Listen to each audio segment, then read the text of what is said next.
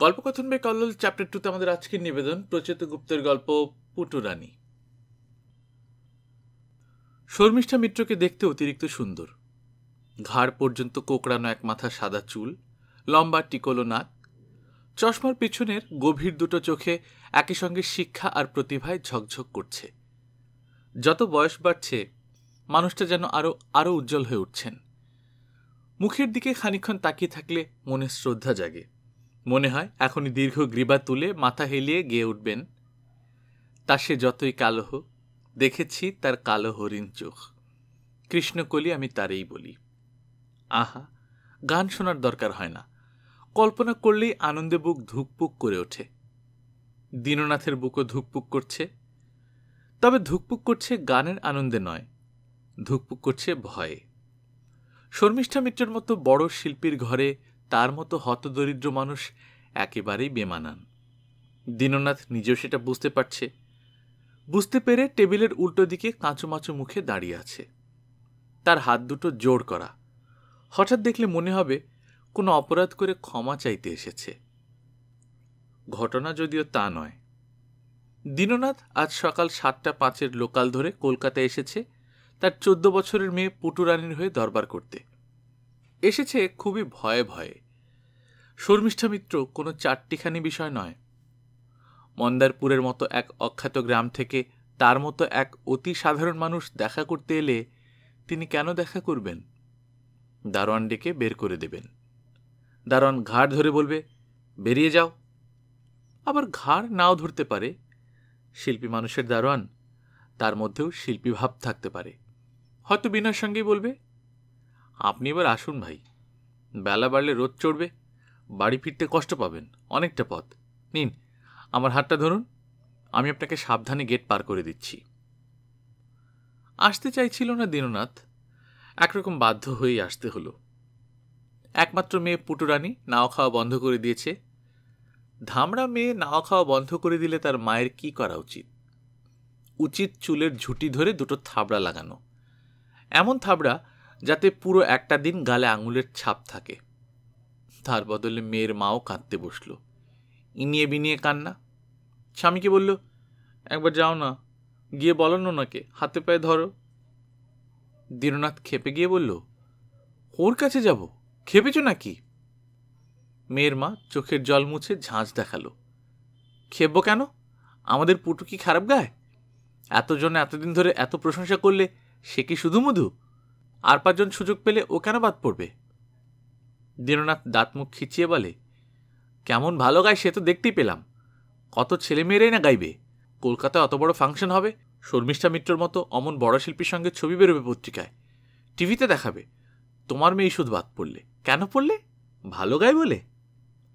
দীননাথের কথার মধ্যে যত না ব্যঙ্গ ছিল, তার চেয়ে দুঃখ ছিল বেশি। মন্দারপুর বালিকা বিদ্যা মন্দিরে প্রায় তিনশো মেয়ে আছে। এতদিন শুনে এসেছিল তাদের মধ্যে পুটুর গলায় সেরা।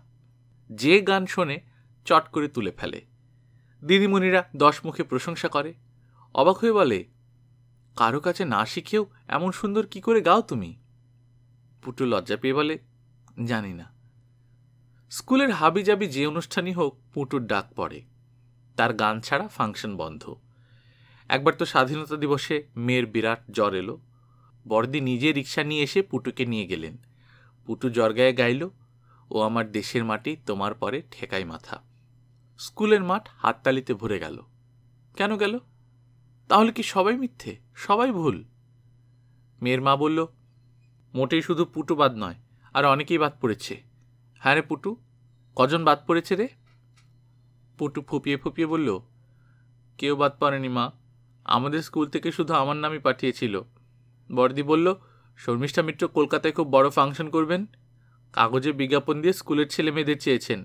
আমাদের স্কুল থেকে তুমি যাবে, যাতায়াতের খরচ আমাদের।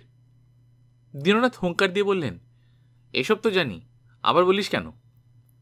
পুটু মাথা নামিয়ে মিনমিন করে বলল, আমি গানের জন্য বাদ পড়িনি। দীননাথ চোখ বড় বড় করে বললেন, সে কি? গানের জন্য বাদ পড়িসনি তো কিসের জন্য বাদ পড়েছিস? নাচের জন্য? হলো গান আর তুই বাদ পড়লি নাচে? হাজলাম হচ্ছে। পুটু নাক টেনে বলল, আমি গিয়েছিলাম, তোরা শুনিসনি কি? শুনিসনি তার পায়ের ধ্বনি? ওই যে আসে আসে আসে। শর্মিষ্ঠা মিত্র আমার গান খুব মন দিয়ে শুনলেন। তারপর মাথায় হাত বুলিয়ে বললেন, তোমার গলা বড্ড মিষ্টি, শুনতে খুব ভালো লাগছে, কিন্তু উচ্চারণে গোলমাল হচ্ছে। তুমি এখন থেকে উচ্চারণ প্র্যাকটিস করবে, এখন যেতে পারো। কথাটা আমি ঠিক বুঝতে পারিনি। আমি কি গানটা গেয়ে শোনাবো তোমায়? দীননাথ ধমক দিয়ে উঠলেন, চপ, একদম গাইবি না। আজ থেকে তোর গাওয়া গাই সব বন্ধ। এত বড় একটা সুযোগ নষ্ট করে আবার বলে গাইব কি না?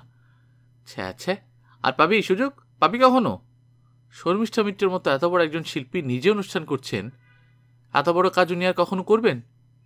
আবার দেড়শো বছর পরে যদি কেউ করে। ইস।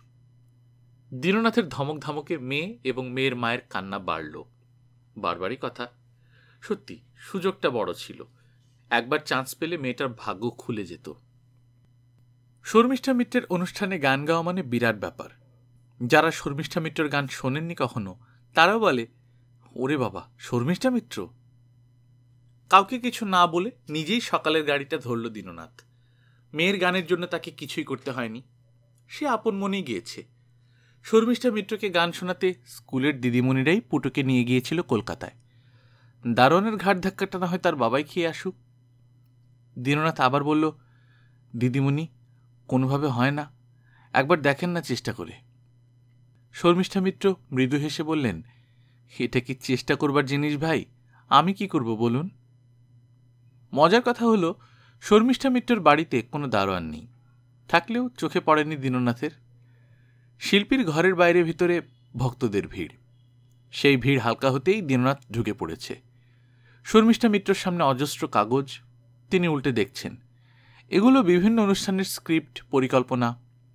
পঁচিশে বৈশাখ উপলক্ষে বিভিন্ন হলে, মঞ্চে, স্কুল, কলেজ, ইউনিভার্সিটিতে এসব অনুষ্ঠান হবে। একবার চোখ বুলিয়ে দেখার জন্য অর্গানাইজাররা শর্মিষ্ঠা মিত্রের কাছে পাঠিয়েছে। তারা বড় কিছু চাইছে না।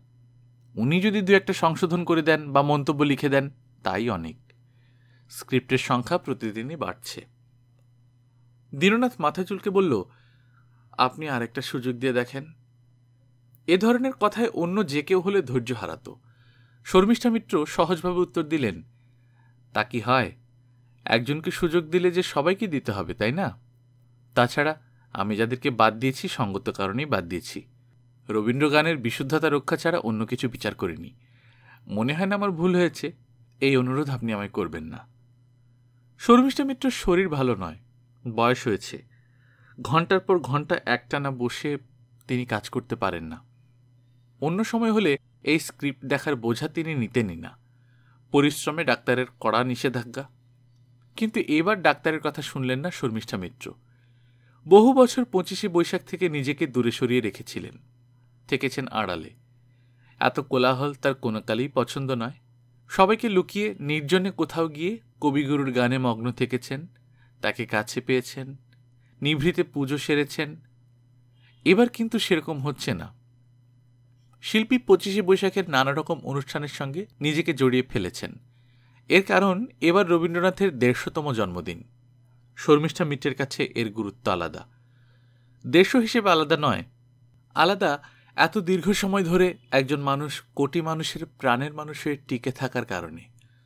ভুল ভ্রান্তি বিকৃতির বহু ঝড়ঝাপটা সহ্য করতে হয়েছে তাকে। হচ্ছেও। শর্মিষ্ঠা মিত্রর কাছে দেড়শো একটা উপলক্ষ মাত্র। তিনি চান এই জন্মদিনে আরেকবার ঝলসে উঠতে। কবির শুদ্ধতা রক্ষায় নিজেকে উজাড় করে দিতে।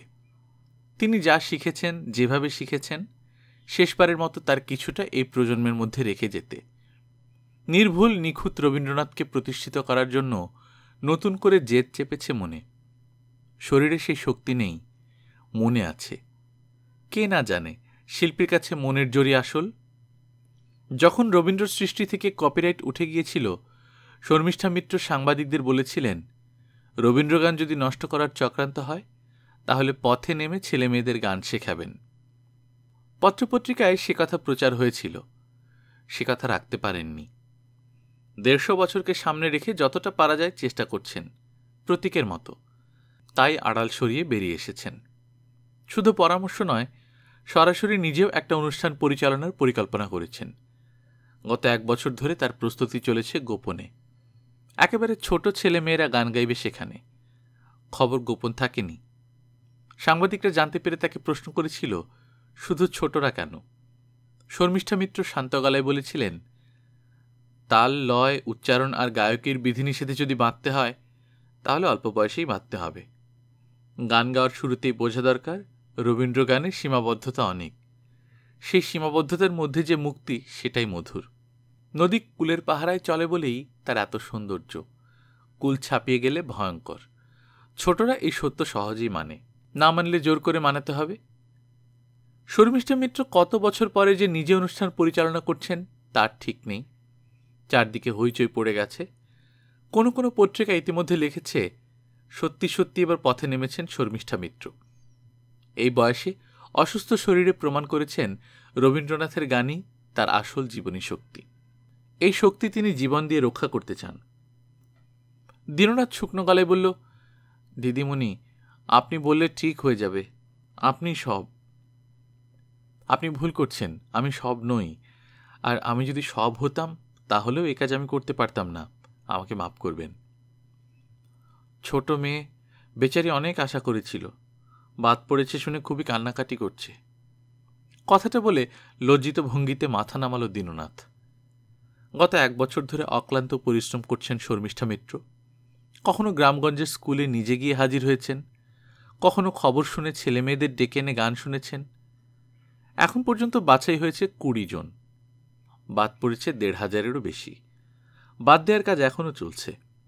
বাদ দেওয়ার ব্যাপারে শর্মিষ্ঠা মিত্র খুঁতখুঁতে এবং কঠোর। এই ব্যাপারে কোনো রকম সমঝোতা করছেন না। তার ধারণা, তিনি যতটা চেয়েছিলেন ততটা না পারলেও কাছাকাছি যেতে পেরেছেন। কলকাতার সবচেয়ে বড় হলে ব্যবস্থা হয়েছে।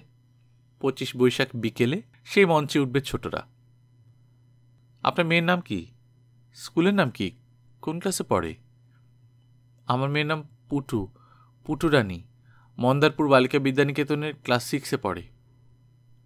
পুটু, আমি তোর ভালো নাম জানতে চাইছিলাম। দীননাথ অল্প উত্তেজন অনুভব করে। ভালো নাম জানতে চাইছেন কেন? তবে এখনও কি আশা আছে? প্রিয়ঙ্বদা প্রিয়ঙ্বদা মণ্ডল, লেখাপড়ায় ভালো নয়, নৃত্যগীতে খুবই উৎসাহী। টেবিলের ড্রয়ার খুলে জাবদা একটা খাতা বের করলেন শর্মিষ্ঠা মিত্র। যেসব ছেলেমেয়েরা বাদ পড়েছে, তাদের নাম, ঠিকানা রয়েছে এখানে। পাশে কেন বাদ পড়েছে সেই মন্তব্য। কাজটা পরিশ্রমের, তবু শর্মিষ্ঠা মিত্র করেছেন যত্ন নিয়ে। ভবিষ্যতে গবেষণার জন্য এই কাজ খুবই গুরুত্বপূর্ণ হবে। শুধু গবেষণাই নয়, যারা রবীন্দ্রনাথের গানকে সঠিক পথে নিয়ে যেতে চাইবে, তাদের কাছে এটি হবে আকর গ্রন্থের মতো।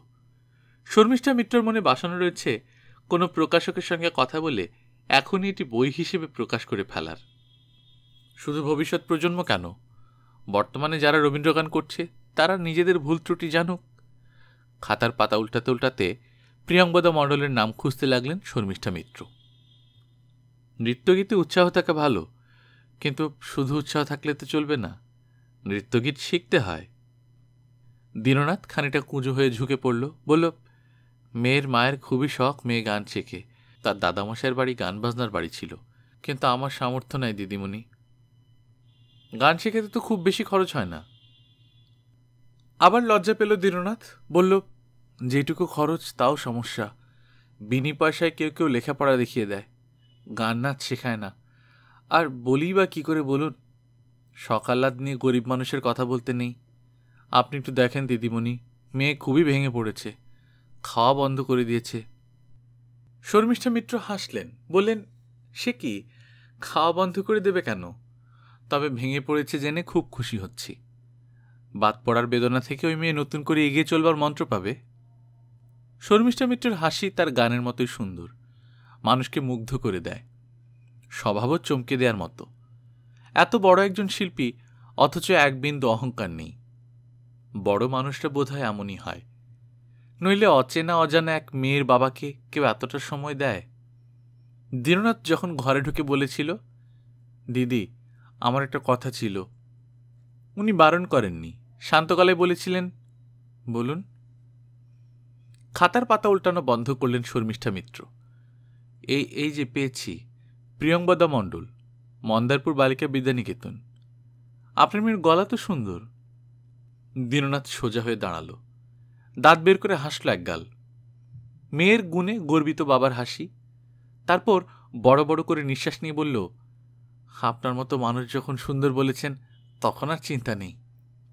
শর্মিষ্ঠা মিত্র মুখ তুলে বললেন, শুধু গলা সুন্দর নয়, এই দেখুন, আমি নিজের হাতে লিখে রেখেছি। এই মেয়ের গান শুনলে মন ভরে যায়। তবে তবে বাদ পড়ল কেন? অবাক গলায় বলল দীননাথ, তার ধাঁধার মতো লাগছে। হাতের জাবদা খাতা বন্ধ করলেন শর্মিষ্ঠা মিত্র। বন্ধ করে আবার সুন্দর করে হাসলেন। নিচু অথচ দৃঢ় গলায় বললেন, খাতায় দেখলাম লিখেছি উচ্চারণে কিছু ত্রুটি আছে। শুধু উচ্চারণের জন্য বাদ, এ কেমন কথা দিদিমণি? বিড়বিড় করে বলল দীননাথ। চকিতে ঘাট তুললেন শর্মিষ্ঠা মিত্র। এলোমেলো হয়ে থাকা সাদা চুল কেঁপে উঠল ঘাড়ের কাছে। ঝকঝকে চোখ দুটোকে শানিত করে বললেন, শুধু উচ্চারণ? উচ্চারণকে আপনি এত সহজ করে দেখছেন? শ্রী পুটুরানীর বাবা রবীন্দ্রনাথের গান অত সহজ জিনিস নয়। এর বন্ধন, সুর এবং বাক্যের পারস্পরিক সঙ্গতিবোধ আছে নিবিড় সংযোগ আছে। উচ্চারণ যদি ঠিক না হয়, সুর, তাল, মাত্রা সবেতেই টান পড়ে। গানের রসবোধে ধাক্কা লাগে। শব্দের সঠিক উচ্চারণে ভাবের সঙ্গে সুরের মিলন মাধুর্য তৈরি হয়। সামান্য ত্রুটি সেখানে বড় ব্যাঘাত ঘটায়। রবীন্দ্রনাথের গানে কথাই প্রধান। সুরের সুষ্ঠু প্রয়োগ নৈপুণ্যে সেই কথা প্রাণ পায়, নিজেকে প্রকাশ করে। কথাই যদি ভুলভাবে উচ্চারিত হয়, তাহলে রইল কি? শর্মিষ্ঠা মিত্র চোখ থেকে চশমা খুললেন, রুমাল দিয়ে কাচ মুছতে লাগলেন যত্ন করে। দৃশ্যতই তিনি বিরক্ত এবং ক্ষুব্ধ। হতচকিত দীননাথ এসব কথার মাথামুন্ডু কিছুই বুঝতে পারেনি। সে মনে সাহস এনে ঢোক গিলে বলল একটা কথা বলব? চোখে চশমা ফিরিয়ে নিয়ে শর্মিষ্ঠা মিত্র খানিকটা কঠিন গলায় বললেন, ঠিক একটা কথাই বলবেন কিন্তু, আমার অনেক কাজ বাকি আছে। আপনি যে বললেন পুটুর গানে মন ভরে গেছে, মুখ তুললেন শর্মিষ্ঠা মিত্র, ক্ষণিকের জন্য যেন উত্তর খুঁজলেন। ঠিকই বলেছি, কিন্তু সেই মনকে প্রশ্রয় দিইনি। রবীন্দ্রনাথ যেমন গাইতে হয় দীর্ঘ অনুশীলনের পর, তেমন শুনতেও অনুশীলন লাগে। বাইরে থেকে শুধু মন ভরালেই হয় না। ভেজাল পড়লে কোনো কোনো সময় খাবারের স্বাদ বাড়ে। তাকে কি মেনে নেওয়া যায়? রবীন্দ্রনাথের গানও তাই। দেখতে হয় খাঁটি পথে চলেছে কিনা। নিজের শিক্ষাকে সন্তুষ্ট করতে হয়। প্রকৃত শ্রোতা জানে, রবীন্দ্রসঙ্গীতের আবেদন যেমন কথা সুরের আড়ালে রয়েছে, তেমন কথা সুরের বেড়াজালেও রয়েছে। আপনার মেয়েকে এই বেড়াজালটি আরও ভালো করে চিনতে হবে। আমি আশীর্বাদ করি, একদিন না একদিন সে পারবে। তার সেই ক্ষমতা আছে। তাকে আমার কথাগুলো বুঝিয়ে বলবেন। পুটুকে কি বুঝিয়ে বলবে দীননাথ? সে তো নিজেই বুঝল না। এটাই স্বাভাবিক। বড় মানুষের কথা হলো বড় কথা। সে কথা সবসময় বোঝা যায় না। চেষ্টা করাটাই বোকামি। মানুষটা তার সঙ্গে যে এতটা সময় কথা বলেছে, এই পরম পাওয়া। নাতি নাতনি কি গল্প করতে পারবে? জানিস, একবার তোর মা আমাকে, আমি তো ভয়ে কাঁপতে কাঁপতে গেলাম। আজ পঁচিশে বৈশাখ। কলকাতা শহর থেকে অনেক দূরে মন্দারপুরের অচেনা অজানা এক ভাঙা ঘরে রাতের উঠোনে বাপ বেটিতে বসবে মাদুর পেতে। দুজনেরই মন খুব খারাপ। একটু পরেই কলকাতার মস্ত বড় হলে শর্মিষ্ঠা মিত্র কুড়ি জনকে নিয়ে গান শুরু করবেন। শুরুতে তিনি কি গাইবেন তা নিয়ে পত্রপত্রিকায় খুব আলোচনা হয়েছে। কেউ লিখেছে, উনি গাইবেন, কি হলো আমার বুঝিবা সুখী? কেউ লিখেছে, উনি গাইবেন কে গো অন্তরতর সে? তবে জোর দিয়ে কেউ কিছু বলতে পারেনি। অত বড় মানুষের কথা জোর দিয়ে বলা যায়? পুটুরানি ফিসফিস করে বলবে, বাবা, আমি কি খুব খারাপ গাই? হ্যাঁ মা, তুমি খুব খারাপ গাও। আমি কবে ভালো গাইতে পারব বাবা?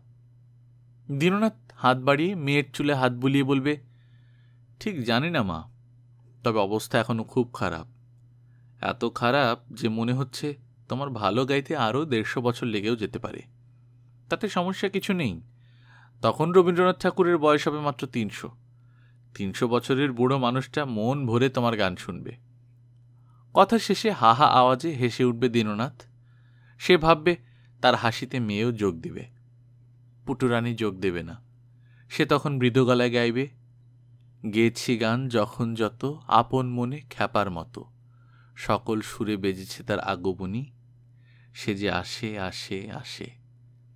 অমাবস্যার আর দেরি নেই। আকাশে চাঁদ এক ফালি। সে এক ফালি চাঁদ আকাশ বাতাসকে ফিসফিসিয়ে বলবে, আহারে, মেয়েটা বড় ভালো গায়, মন ভরে যায়।